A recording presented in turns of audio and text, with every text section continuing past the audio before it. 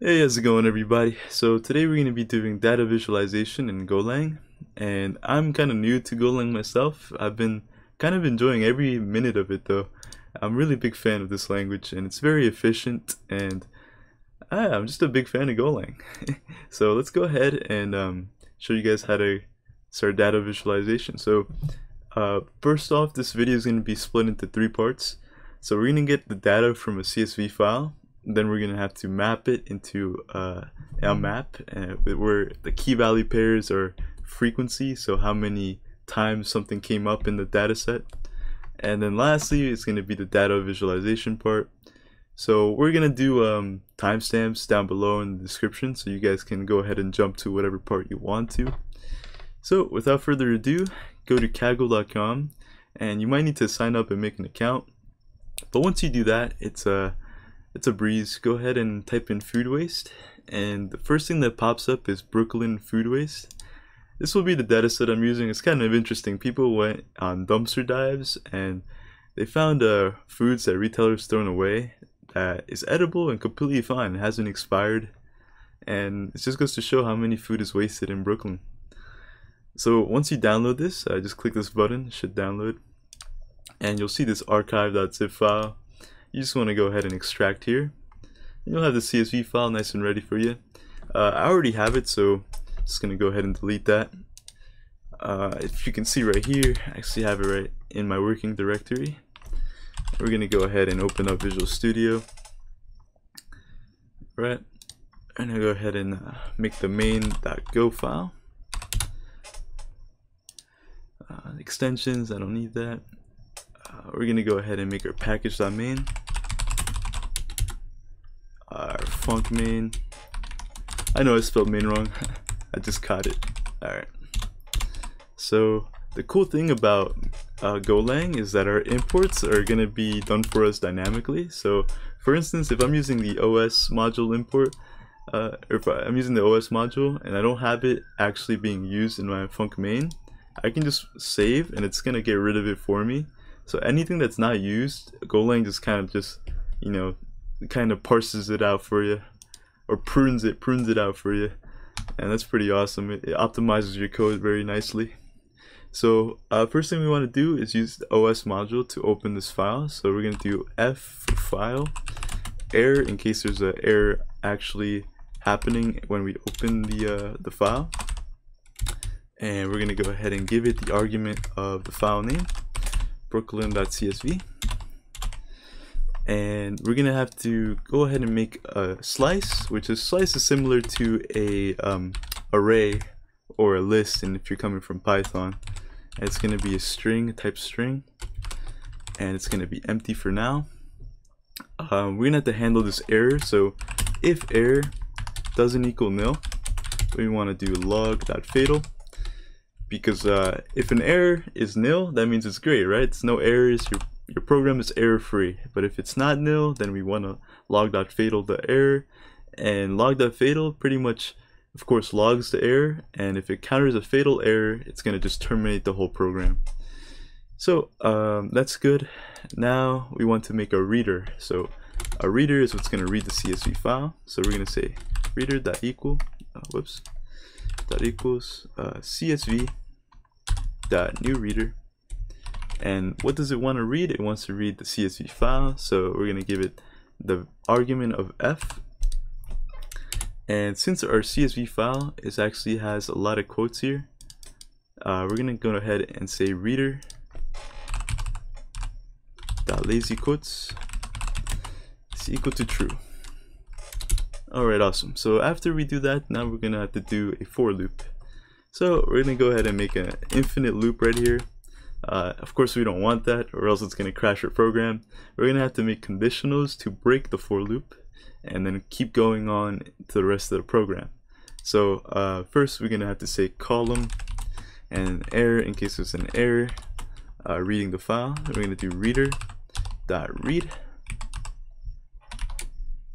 and you don't have to pass in any arguments it's just gonna do it for you since since you already gave it the argument up here um, we're gonna say if error is equal equal to io.eof And now uh, io.eof means if it's read the whole entire thing. So if it encounters an empty line, or yeah, I guess it would be empty line of the file, that means everything's already read, so there's no need to keep going, and it's going to give you an io.eof um, type of an error. So if it equals that error, we're going to go ahead and break.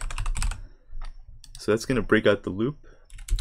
However, if the error is not equal to nil, which is just any other type of error, uh, we're just going to do log.fatal. It's going to be equal to error, or as the argument is going to be error. And if you guys can see, all our imports is going to dynamically uh, set for us. I'm not sure where the hi they're highlighted red for. Uh, I don't. Yeah, I'm not sure why they're highlighted red, but let's just ignore that for now. Um, once we have those conditionals set, uh, we have an escape escape uh, method to get rid of the for loop, but we have to append the data into our list, right? So we can say data that equals append data, and we're gonna say column at five. And now specifically, why do we want column at five? Uh, oh, whoops, we gotta do da data equals because we, we don't want to instantiate a new variable. We just want to, you know, add on to the data. Uh, specifically why we want column 5 is because column 5 would be uh, this column right here, food type. And food type, whoops, food type is what really we, want. And we're going to go ahead and print that out for you guys so you guys can see. So if we want to print this out, we can just go ahead and do fmd fmt.println and we're to print line data. Alright, so if we go ahead and do go run main.go, it's going to go ahead and print out everything in the slice. And all of these are the foods that they found on their dumpster dive. And as you can see, it's quite a lot of food. Uh, however, this is very messy and very janky, so this is going to be part one of the video. It's going to be called CSV reading. Uh, now we're going to move on to the second part. It's going to be called uh, let's see, mapping. So mapping the data is going to be fairly easy. Let's get rid of this print uh, statement. So first we want to make a frequency map. So frequency is equal to map. And then uh, this bracket is going to signify what is going to be the data type of the keys. So for us, it's going to be string and the value is going to be int. So the keys are going to be string and the value is going to be int and we're gonna have to iterate through the slice. So here we did a for loop that was just an infinite for loop. Now we want an infinite. Uh, now we want a for loop that's gonna go through just the elements of the array. Now you can do it. You know, you can do i equals zero. i is less than the length of the uh, array. i plus plus. But uh, Golang does it uh, much neater way. It's gonna be like this. It's going to be using the range keyword and there we go that's our for loop. Uh, these i and v it's i is for the index v is for the value. But however we're not going to be using the index. And to clarify even more um, so this is our big slice right? I is just going to be 0 1 2 3 while v is going to be actually the the value the string value of this. So that just to make that clarified um, we're not actually going to be using the index. To, so to nullify that, we can just do an underscore, and you don't have to even use the index. Now this next line of code is going to be quite similar. Sorry, my cat's in literally in front of me, so I might be typing a little slower. Uh, let's say value and exist exist. Uh, it's going to be equal to frequency at v. So uh, we're passing in a, a key into frequency, right? Our frequency is really empty, so you know it's not going to be, it's not gonna, there's not going to be any keys in there. Uh, let's take an example. Say we put in milk, right? Say we put in milk into our frequency. And let's just, for instance, put that in there. Milk is equal to 1. All right. Say we passed in milk. Value is going to take in the value of 1 and then exists is going to be uh, the value of true right so if this if this key does exist value is going to take the value of it, and then exists is going to be true that it means it exists. Uh, if this was no such thing as milk in there, then uh, value would be nil, and then exist would just be false because it's not in there.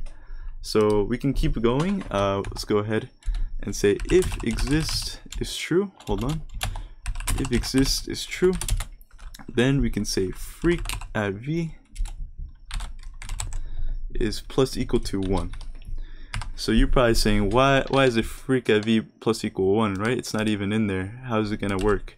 Well, we're going to do another um, else statement, and we're to say freak at v is equal to 1. Alright, so that's good. Uh, you see we don't even actually even need the value, so to nullify that we can do underscore. And we should be fine now. Um, so the way this works, right, uh, it's going to pass in the first element of the slice. It's going to say, oh, exists is false because there's no such uh, key inside the frequency map because it's empty. So it's going to assign that value of 1. And then if it finds that value again inside of the data slice, it's going to plus equal it to 1. So it's going to iterate it by 1. So that's that's how you do it. Um, to see if this is actually working, let's go ahead and format the print line and it's gonna be uh, freak rat and let's go ahead and run this see if it works go run main go and you can see that we have the key value pairs uh, we can see the food and we can see the count um, it's very very uh, janky still but it's awesome though we have a count of all the uh, variables and they're not repeating because they're I guess you could say they're unique uh, keys because if the keys are similar, they just add up. Uh, you can see yogurt actually 18. That's a crazy amount of times they found yogurt. So uh, now we want to sort this array, or sort this map, I'm sorry. And the way we sort this is quite easy. It's a little actually tricky, but if you follow along, you'll be fine. Uh, we want to sort this in descending order. So descending order means that it starts at the highest value and just keeps going down, down, down. Just like a roller coaster, you know? A negative slope. Um, the way we do this is we're gonna actually make some some structs here. So under your import, you're gonna say uh, type count struct, and we're gonna say um, key. It's gonna be a key. It's gonna be a string. And then value is to be a int. Going to save that. Alright so this is kind of like a class or or like an object. If you're coming from JavaScript it's kind of like an object but it's more like of a an interface of an object um, now we're going to also make another type it's going to be count list and this is going to be um, let me just explain it real quick uh, think of this as an array of your object. So count list is going to be an array with a bunch of the count object inside of it. If you're coming from JavaScript, yeah, it would be an array of an object. Uh, uh it would be objects inside of an array. And then if you're coming from Python, it would be dictionaries inside of a list. So it would be like, uh, let's see. It would be like this kind of like that, right? Okay, just to make that clear. Now we also need methods because um, just like a class has properties like getters and setters, right? Like you can get a value from the class, set a value from the class. You can also put this stuff into Golang's uh, types. So let's go ahead and do that. So we can say func, and we're gonna say c count list. Uh, let's see, let's see we I think this has to follow a certain amount. Uh, this has to follow a, a certain interface. So we need to do a length property, and it's going to be int, meaning this is going to be the return type. Uh, okay, and this is going to be just the name of the function, and we're going to have to do return, and then what we're going to have to return is probably going to be the length of uh, the length of C right here. So we're gonna say length of C. All right, awesome. So we're gonna keep going. We're gonna make more we're gonna say func c count list. And this one is gonna be swap. Now these aren't really gonna be used but it's just good to have because it follows the interface of a uh, a slice. And you need to do that in order to use the sort function which we're going to get to later. Um, so let's see. This actually doesn't have a return statement it just does actions. It's like a void function. So what you have to do is c at i and c of j is equal to c at j and c of i. So it just kind of swaps the values. Alright, and now I think the last one is going to be func count list. And this is going to be less, right? And then it's going to be j, and they're going to be integers. This is going to be a boolean, and it's going to say return c at i dot value and yeah I'm sorry guys if this is so confusing but you have to do this in order for it to work.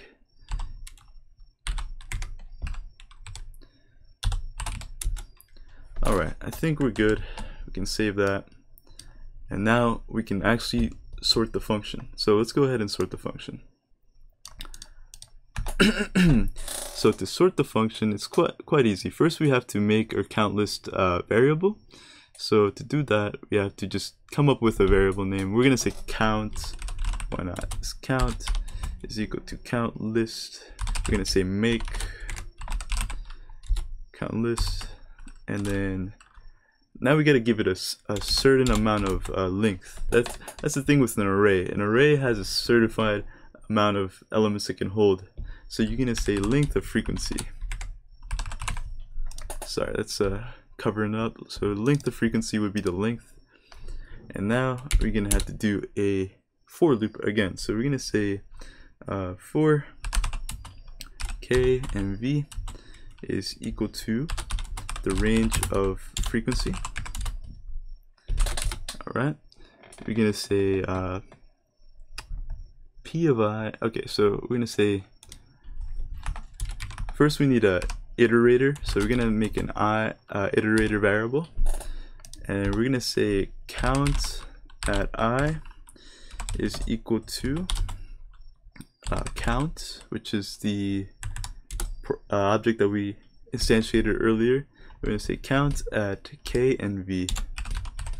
Since the uh, map follows the exact uh, structure of our count struct, key and value, because the key is a string and the value is an integer and you can see here it's a it's a string and it's an integer we can do this uh, pretty easily. Alright so that's good. And that's gonna add into the count list since this is the count variable which is instantiation of the count list. Alright so now we can just have to do i and I think we'll be set for that. Um, now let's go ahead and do the sort function since we can now use it. Uh, sort that sort I'm gonna say sort that reverse. This is the way you do it with uh, descending order. If you don't want to do descending order you can get rid of sort that reverse. So sort that reverse would count. And now we can I think we can uh, print line this uh, count object and it's gonna show. So let's go ahead and do fmt print line and we're gonna say uh, count. Let's make sure we get rid of all the other FMT print lines. Okay. Alright so this should sort it. And let's go ahead and see. Alright so nice. We got it set up pretty well. So yogurt 18 flatbread pepperoni pizza 7 honey turkey and swiss wrap 7 so now this is more beautiful, right? You get everything uh, for everything in descending order. It's nice. It's encapsulated inside of an object. Um, all right, so now we can move on to the data visualization part, which is uh, a, not tricky. You just have to follow along in the uh, the GitHub repo. This uh, library actually inspired me to make this video. It's super beautiful. So what you can do is you can just make charts um, very easily generated as an HTML file. And it's quite beautiful because it's got like 3D charts, uh, animations, and uh, you know I'm not at that level where I can do these animations yet, but we're just gonna stick to the first example they give us, just to show off how how easy it is. So uh, if you guys don't know what a git mod is, I recommend you guys um, understand what it is. It's it's a way to handle your packages that you install from a third-party source. So uh, what you have to do is uh, use gomod and you have to use this command. But before you use this command, you actually have to do uh, gomod init. So we're gonna say gomod init, and we're gonna say github.com Fabio Sebs, and we're gonna say uh, I don't know, data visualization, Golang. Alright, and now if we look at our files, actually we can look at uh, Visual Studio Code. There's our Go mod right there. And not sure why that's uh, red. Okay, it's whatever. So now we're gonna run that command. Copy that.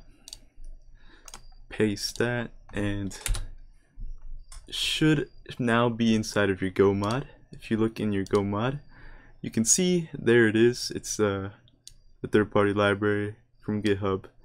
And if you see your Go sum, um, pretty much all of these uh, dependencies or I guess packages are what this package is uh, uses to to uh, function correctly. So it's like a dependency tree, right? This is the I guess this is the root, and these are all of its children because they the root needs all these uh, dependencies to work. So that's the go sum. It's a pretty cool way to manage your dependencies and packages. So uh, let's go back up and now we have to, alright yeah we put that in there. Uh, these are already inside of our imports thanks to that. Um, and now we can start working with the repo. So once you uh, do the installation, uh, let's go ahead and just copy what they do here so first off, they make a bar, create a new bar instance, so we can just copy and paste that. Uh, let's go ahead and say data visualization part. Let's go ahead. Visualization. Again, create a new bar instance. And then I think we have to set a x-axis. So we can say bar dot set axis I'm sorry bar dot set x no wonder. I was like why isn't my autocomplete working? Alright so set axis it's gonna be a string. And these x-axes uh, if you can see here in the way they did it it's gonna be like the days of the week Monday Tuesday Wednesday through all the way through Sunday. Uh, however, we don't want that because we don't want the days of the week. We want the, um, let's see, we want the, key value pairs. So if I run go run that main go, we want these guys. We want yogurt, we want honey turkey and Swiss wrap, flatbread, pepperoni, and pizzas. So uh, the way to do that is we're gonna go ahead and set this string of those values and the way it will be uh, implemented is we go ahead and get our count list object and we're gonna go ahead and uh, index it at zero and we're gonna say dot value. I'm sorry dot key because dot key is a string. And we're gonna do a string slicing here because uh, this library here if the string is more if the length is greater than like seven I believe it just messes up the charts a little bit. The spacing and everything gets a little too crazy. So if this Monday or Tuesday was more than seven, it's gonna be a hard time for the program to work. So we had to string slice it, unfortunately. So that's what we did. Uh, that's what we're gonna do. We're gonna say zero four, and then we're just gonna copy and paste this uh, five times. Since this is gonna get the the most popular items of uh, that were retrieved in the dumpster dives, it's gonna be the top five. So it's gonna be the top five items. And there we go, our x-axis is set. Um, what else do we have to do? I think we have to add series. I believe it's add series. Uh, let's see, we can look at the, uh, oh yeah, it's add series, okay. So we just do dot add series. Oh, not sure why. Let's just do it this way. So in add series, it's gonna be um, a category A, generate bar items. Okay, so we can say this is gonna be our values. And then we're gonna say generate bar items. Of course, we don't have it uh, set up yet. We didn't do generate bar items yet, but we're gonna do it eventually. Uh, and what else? Let's see. Okay, so that's gonna be for later. Let's get rid of generate bar items, or let's get take care of that. So generate bar items is a item that, ret that returns ops.bar data type, okay? And it's gonna be in a form of a string. So uh, let's get to work on this. Let's say above our func main, we can say generate func generate bar items, and then we're gonna give it a return type of ops.bar data. Okay, and then here we actually want to pass in our our count list. So we're gonna say data.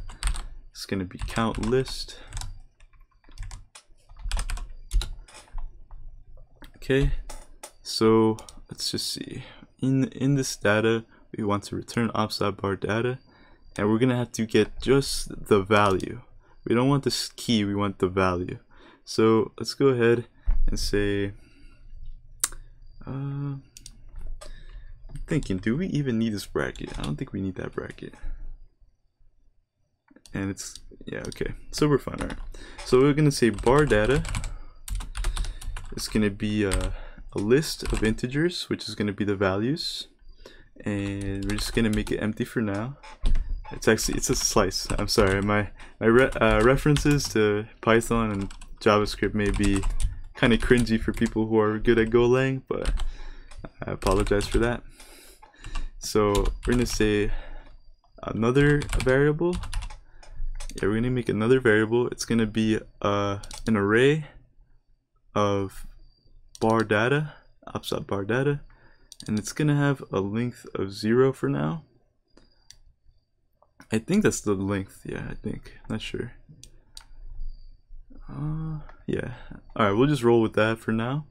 Uh, and then we have to do a for loop. So for i is equal to zero, i is less than or equal to four. Since we're getting the top five, go ahead and do i plus plus, and we're gonna go ahead and do bar data equals append bar data, and we want to get our count list that we have as an argument. And we're to say data at i and we're to say dot value. So that appends all the values into bar data and that should be set. So bar data has the top five values inside of our count list which should be 18 7 7 5 and 5 so that's good all right so now we're gonna have to do uh, let's see four. We're gonna have to go through this bar data now actually. So range bar data. Oops, forgot the g okay.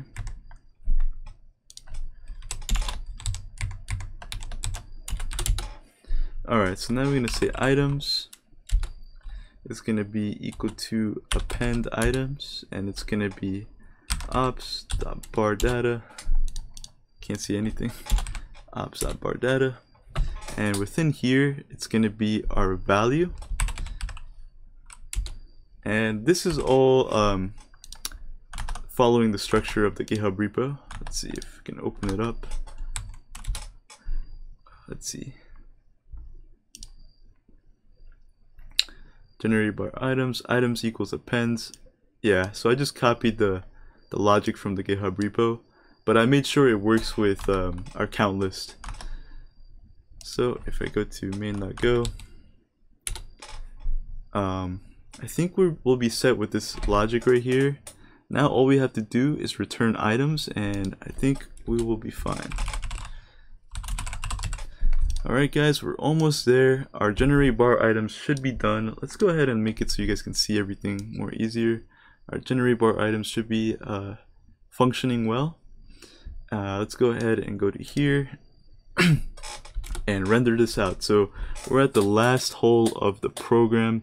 If you see in the repo, after they set the axes, they just uh, use the OS module to create the HTML file and then they render it into the file. So let's go ahead and do that. Since we already use F as for the file to open the CSV file, we're going to use E and then we can just not use that since there's probably not going to be an error.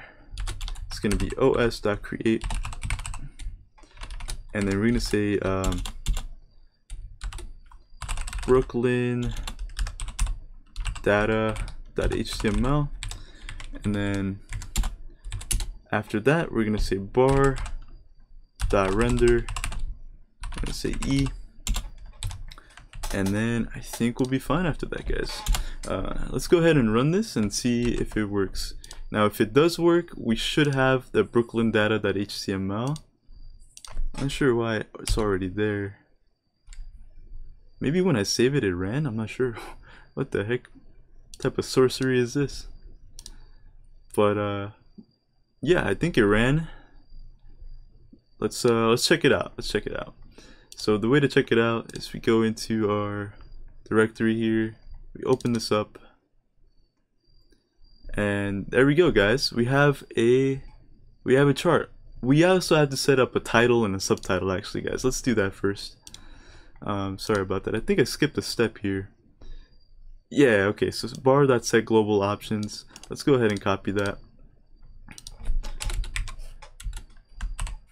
So the title for me it's gonna be um, Brooklyn food waste data. And we're gonna say food recovered from dump dumpster dives. Alright, so let's save that and let's run this again. And then let's go check out the um, let's go check out the chart. Awesome. So we have a nice title, we have a subtitle, we have the uh, the keys right here, and unfortunately, you know, it's gonna be hard to tell which foods they are. Thankfully, we have this uh, count list object that actually tells us yogurt, honey turkey, and Swiss wrap, flatbread. So maybe adding keys would be awesome to know. Like yogu is yogurt, honey is honey, flatbread, whatever. Um, but this is how you do data visualization in Go. And with more digging into the go-echarts library I or module, I think you guys could really make some awesome things. This is just like the tip of the iceberg. But thank you guys for watching. I hope that uh that was entertaining and subscribe for more coding tutorials.